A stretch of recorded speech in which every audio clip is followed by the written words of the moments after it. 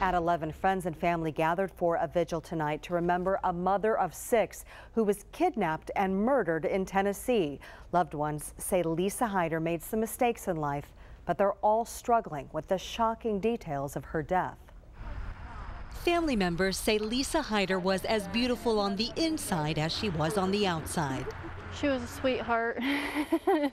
she was a very kind person. She was always there when you needed her.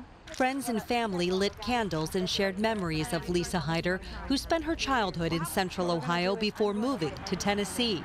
Family members say the mother of six children got caught up in alcohol and drugs. She was arrested for prostitution, but no one imagined her life would end so violently.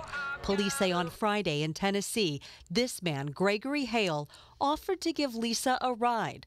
Police say he took Lisa to his parents' home where he murdered her, ate part of her body, and buried her torso. There's no words. Monster, evil, he's Satan, the devil.